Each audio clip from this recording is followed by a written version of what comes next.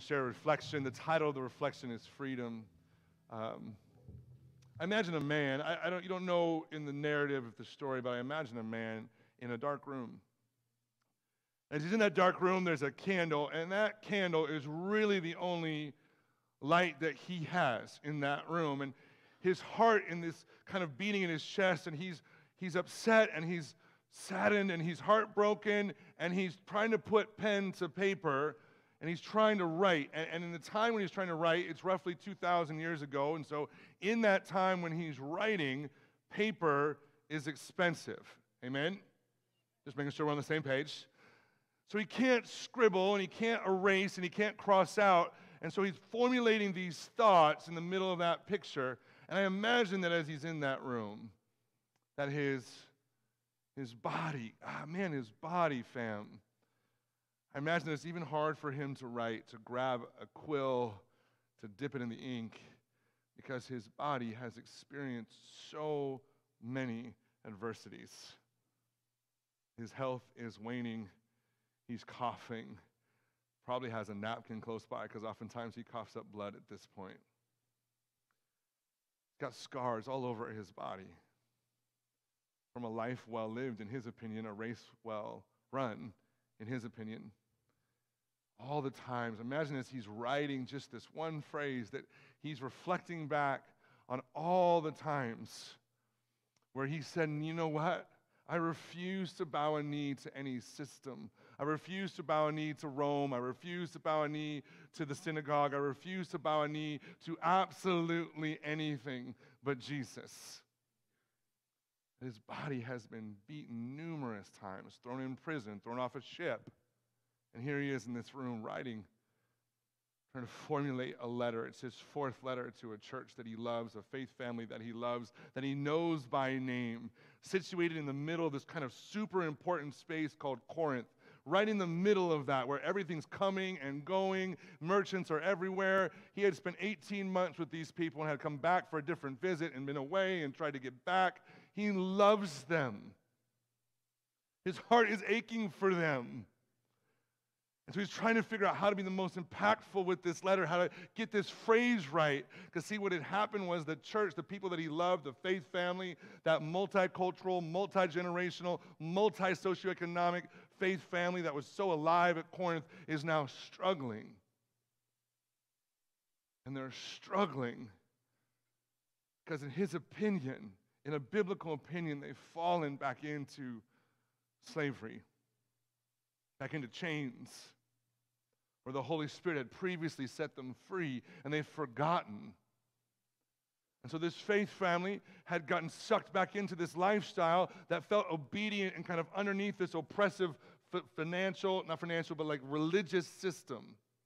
I said, you have to follow these 400 plus commandments, and if you follow those 400 plus commandments, then God will accept you and will love you. And they're stuck in that space as I was reflecting on this, it's so easy for us, I think, family, to look back and to think that Paul, the Apostle Paul, wasn't writing to us. But in reflection on this letter,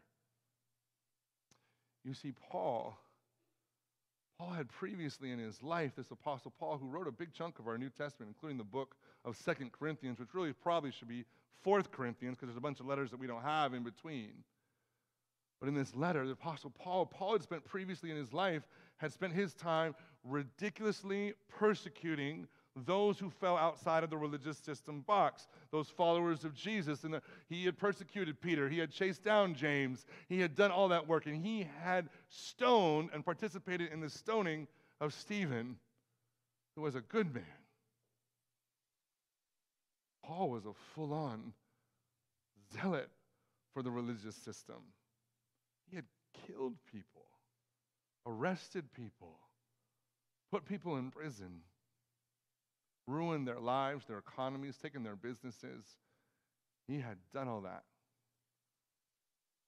Yet there was a moment for Paul, which made me think about my own moment. Maybe it'll think about your own moment. Maybe you haven't had that moment, which I pray for today.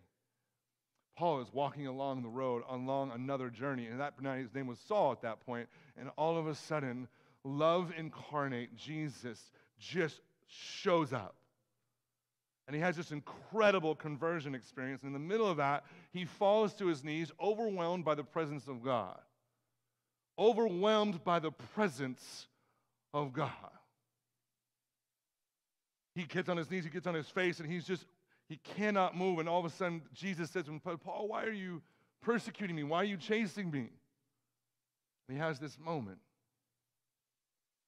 Everything we're about to say about freedom has to be based on that moment because it was in that moment that Paul realized how much God loved him. He was trying to pull Paul into more of who Paul could be. He was trying to help convert Paul into more of who Paul could be. He was trying to help Paul. He wasn't angry at Paul. He wasn't upset at Paul. He didn't ride down on some kind of big golden chariot with, a, with an axe to get Paul. He was there to love Paul. Have you had a moment? Because we really can't talk about freedom yet, and we're going to get there. And though you've had your moment when you realize that the love of God is real, that God loves you, absolutely nothing that you can do about it. No matter how far you go, no matter what you've done, no matter where you've been, past, present, future, you can't turn up that dial. You can't turn down that dial. That the love of God is relentless for you, it's coming for you. It can absolutely overwhelm and destroy who you think you are in all the right ways. Amen. Have you had that moment? Where you realize that God, the God of the universe, the God that created everything from beginning to end, absolutely adores you. Your picture is on God's fridge. Y'all get that? And so Paul is in that room with that dark candle with a body that's been broken down, full of weakness and really a lot of suffering, but he's on fire. Because he knows that what he's about to write is so true. So he writes to the church, Corinth. He says, Family, where the Spirit of the Lord is, there is freedom. He writes previously in Galatians don't be yoked again by slavery. It is for freedom that Christ has set you free. He writes a little bit later in that same letter to a different church. He says, You're called to be free. Now, don't use your freedom for wild things. Use your freedom to love your neighbor fully. Where the Spirit of the Lord is, there is freedom. And so he writes it and he gets one chance and he writes it in the perfect Greek that Paul already used. And later he signs that letter and he sends it. And I think he sends it to me. And he sends it to you. Where the Spirit of the Lord is, there is freedom. See, the church in Corinth had got lost in their own trying to live up to religious standards. We do some of that. Like, I get that. We get lost in our own religious standards and try to, hey, don't drink, don't smoke, don't have sex before you're married, do the right things at all times. We get lost in the do's and the don'ts, but not fully. See, I think our shackles are different. Our shackles are for our age. And I think Paul would write the same thing. He said, Look, First Pres family, Jake, where the Spirit of the Lord is, there is freedom. You're not free. We are shackled and chained, so many of us, to so many different things. Just to begin thinking about that for me, how many of you are able to turn your phone off for 24 hours? Right? How many are not? Right? We're shackled to what might happen at work. We're shackled to what might happen. We're shackled to people's. I'm shackled, you know, like just for me personally, that the real challenge, right? I am absolutely shackled to people's opinions of me. Anybody else? Just think through the stuff that you're shackled to that traps you. Why do I dress the way I dress? Why do I do the things I do? Why don't I say the things that I say? I am absolutely shackled to people's image of myself.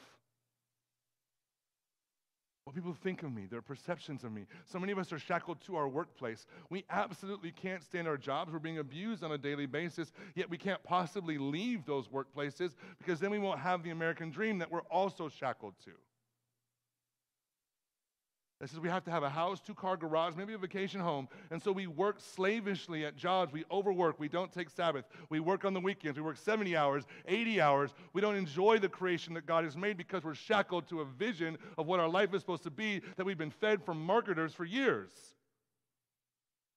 We're shackled to it here today to an economic system that makes us completely buy and buy and buy and buy, to a political system that says you must be shackled to one party or the other party or have this cause or this thing, and that becomes our life and our world, and you label yourself as progressive or conservative, liberal, Democrat, Republican. We're shackled to these images so we can't hear another opinion anymore.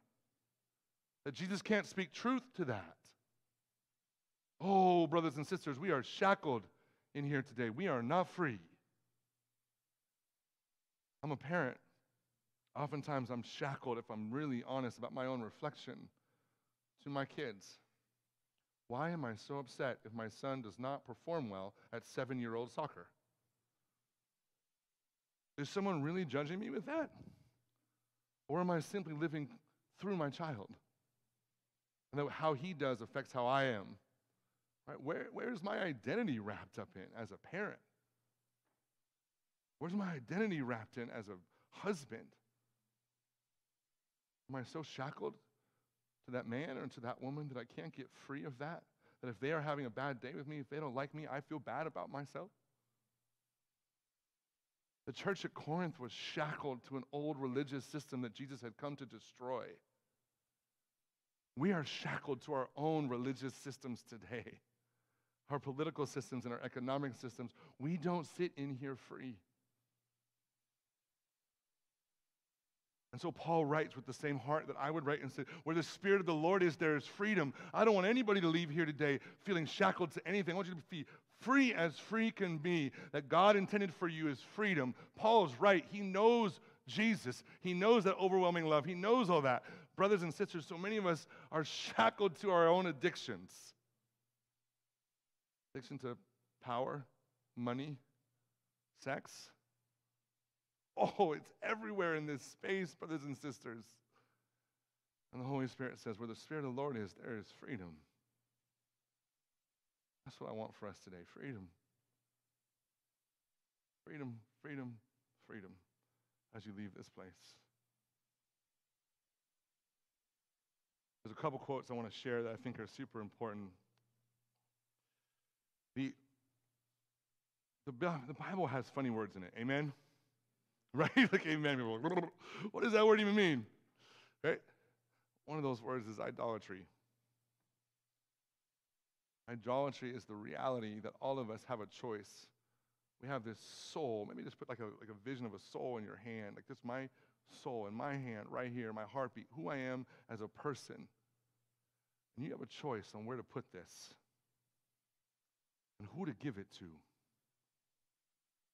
all times you have a choice on where to put this and who to give it to. And if you give it to anything but Jesus, it's not a quick shackle, it's not a quick prison, but little by little your soul becomes captured and the weight gets added to like a chain on your leg, and all of a sudden you're dragging it around, and life is not what it's meant to be. Here's how I know. We have this thing on, on staff development days um, where we go and we spend three hours just really by ourselves, kind of reflecting with Jesus. And when I'm done with that time, when I'm done spending time in the presence of God, when I'm done spending time with Jesus, and I walk out of that space, brothers and sisters, I'm telling you, I know what freedom feels like. The language I use is like, I am really dangerous right now because I might just say anything. Right? Because I realize that God so desperately loves me and that I am found in Him, that I don't need anybody else's opinion of me. That's a dangerous, beautiful, wonderful place to be, and that's what I want for us. You have this thing. Tim Keller has the best definition of idolatry. I want to read it. What is an idol? It's anything more important to you than God anything that absorbs your heart and imagination more than God. Anything you seek to give you what only God can give. An idol is whatever you look at and say in your heart of hearts, if I just had that, then I'll feel like my life has meaning. Then I'll know I have value. Then I'll feel significant and secure. Whatever you look at and say in your heart of hearts, if I just had this much more money in my bank account, if my kids were just this way, if my health was just this way, if my work was just this way, if my house was just this way, if I had that, then I would be. That's taking your soul and giving it to another. There are many ways to describe that kind of relationship to something, but perhaps the best one is worship. Where the Spirit of the Lord is, Paul writes in that room, there is freedom.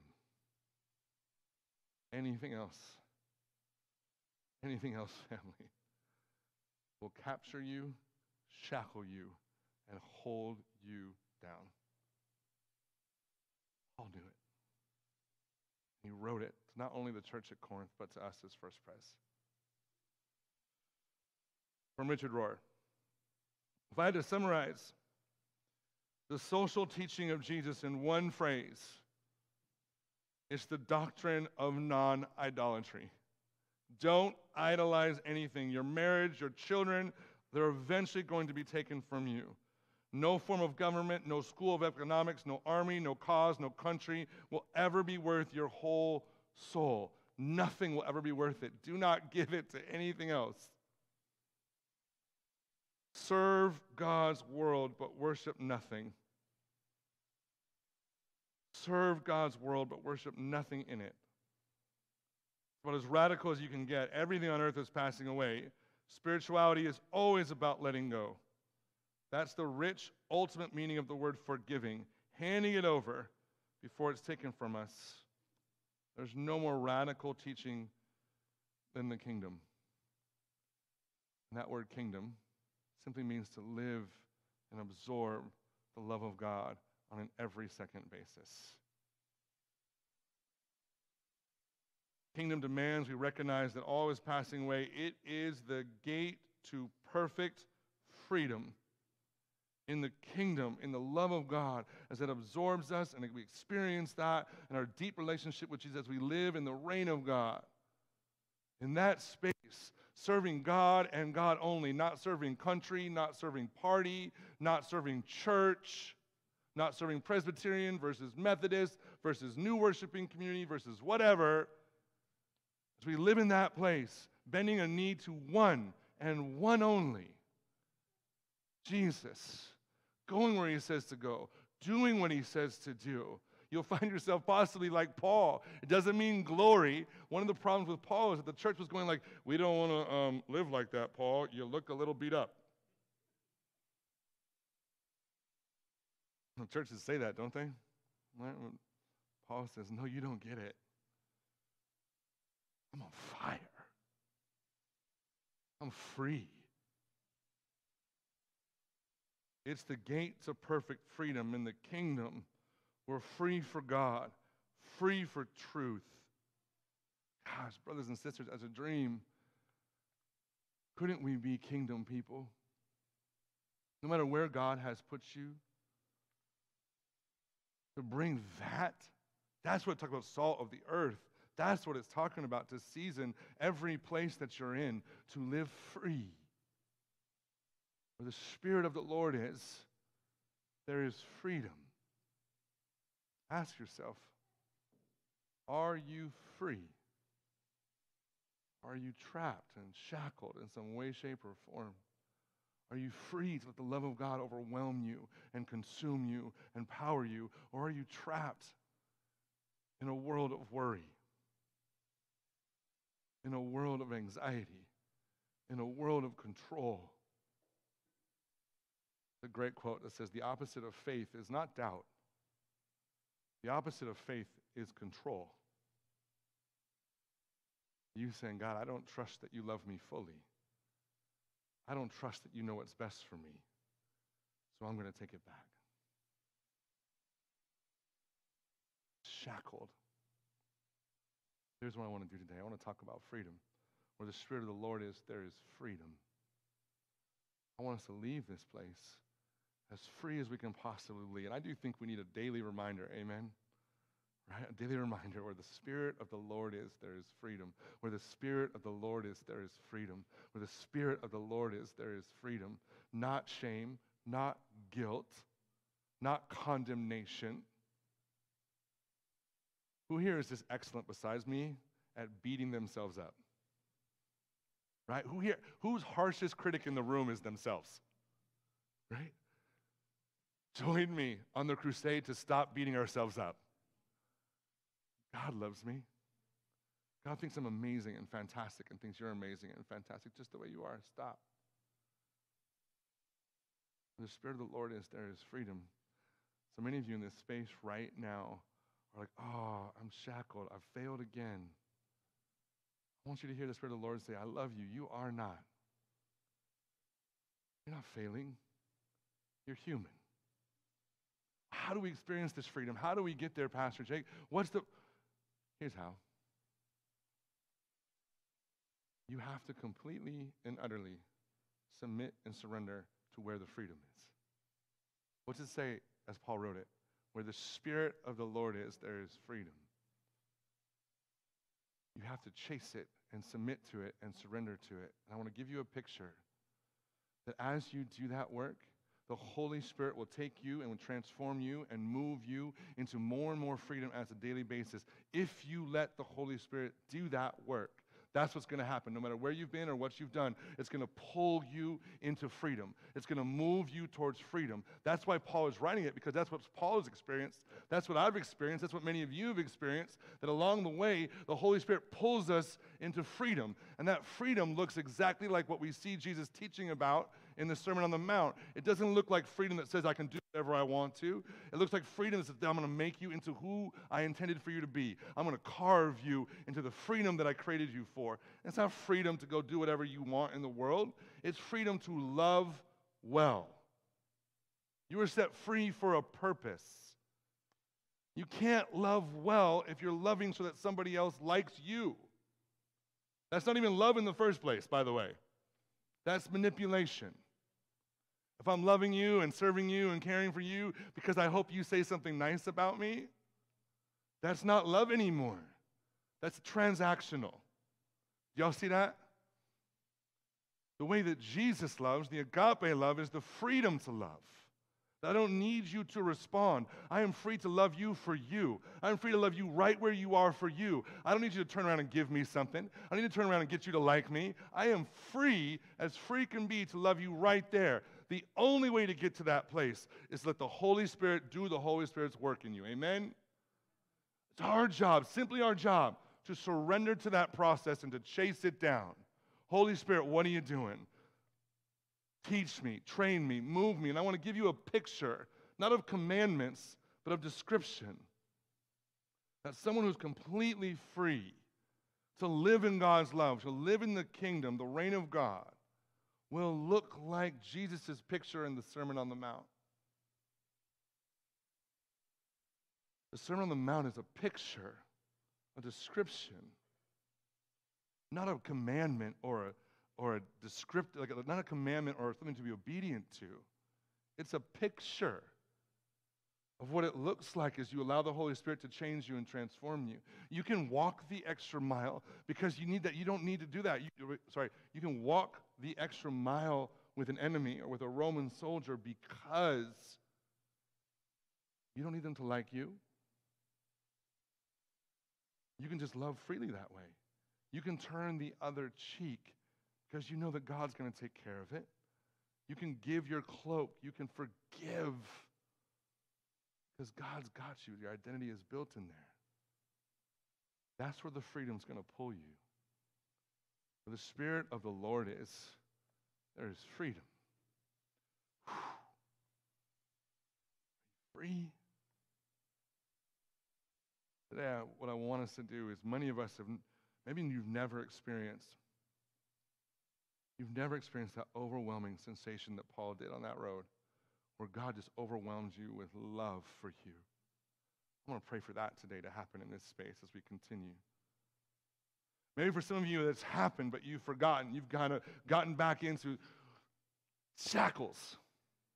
You're shackled to your work. You can't take a Sabbath. You're shackled to your own identity. You have to get people to like you on a constant basis. You're shackled to all the different idols that our world provides from materials to consumerism to money to sex to power to control to worry.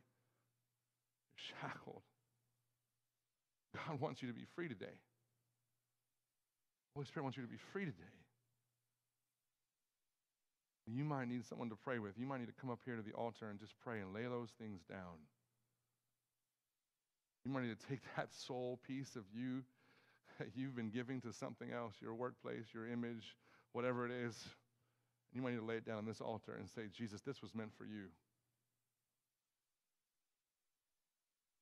You might need to chase where the Spirit of the Lord is. There is freedom. You might need to find yourself in the presence of God. Three quick thoughts. One, a lot of keys to freedom. Prayer frees us to be with God. Giving, sacrificial, I don't mean to the church, I mean everywhere. Giving in all the different ways, shapes, and forms frees us from the materials of this world.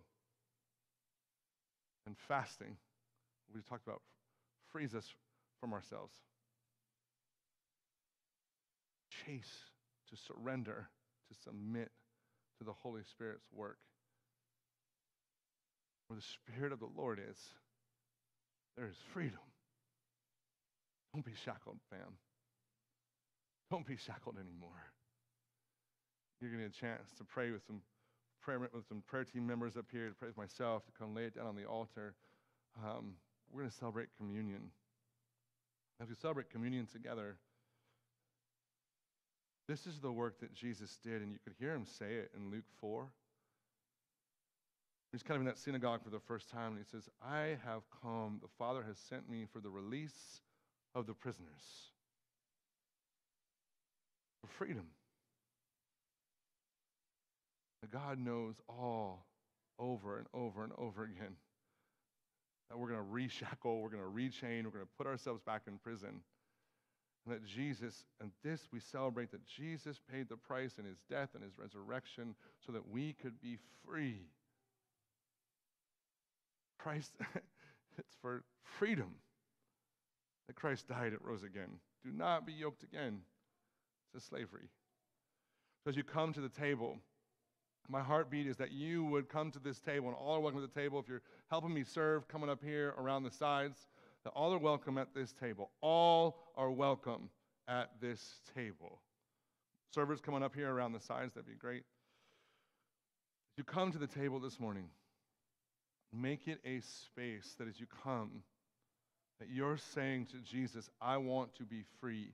Holy Spirit, change me, transform me, allow me to submit to this and to surrender to this because I believe that what Paul, our brother, wrote in that room where the Spirit of the Lord is, there's freedom. Amen? There's going to be people up here to pray with too. If you just feel spiritually stuck, there's an addiction, there's an idol, there's a block, there's a thought, there's a relationship that just is stopping you from experiencing the freedom that Jesus intended. I'm going to be up here to pray. Mary's going to be up here to pray. Mary, raise your hand. We want to pray with you. And if you just need a moment up here, kind of on the stairs, physically near the altar, to lay down the, the, the stuff that has shackled you with Jesus, that space is open too. We want to create this space in this next period of time where we can just do Holy Spirit ministry together. Amen? On the night that Jesus was betrayed, he sat with his friends, his brothers, and his sisters. He knew what he was about to do, he knew what the cost of freedom was going to be. He took a piece of bread and he broke it.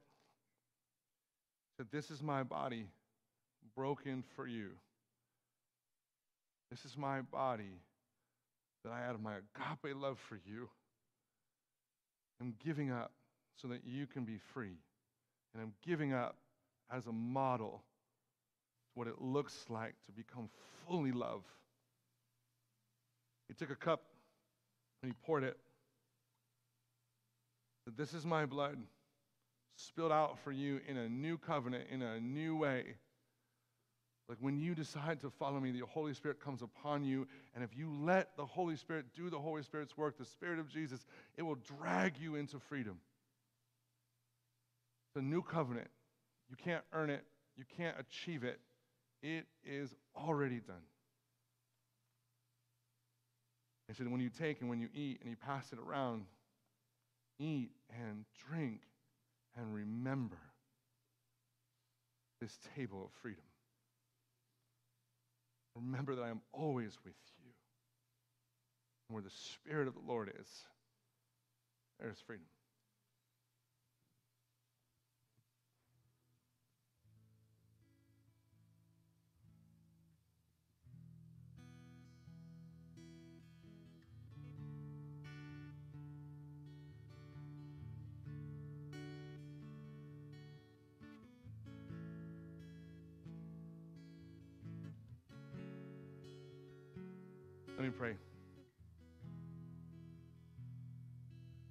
Holy Spirit, I am just a man. Just a man with a reflection on what your servant Paul was writing and what it meant to me. Holy Spirit, you're going to find me right up here. I want to pray you would do the work among us this morning. We are free of all the things we chase that encapture us and keep us in prison. Your scripture calls them idols. I'm praying that we would let them all down. We would burn them all down. We would lay them all down. As Paul writes with his heart broken for his faith family, it says, Where the Spirit of the Lord is, there is freedom. I'm praying that every single one of us will leave this place in freedom, laying it all down right here. Holy Spirit, do the ministry among us as you set us free to love well, without agenda, without manipulation, to love those in the places you've put us as kingdom people, worshiping nothing but you, but serving your world with joy and grace and mercy as you've taught us. Praise things in your name. Amen.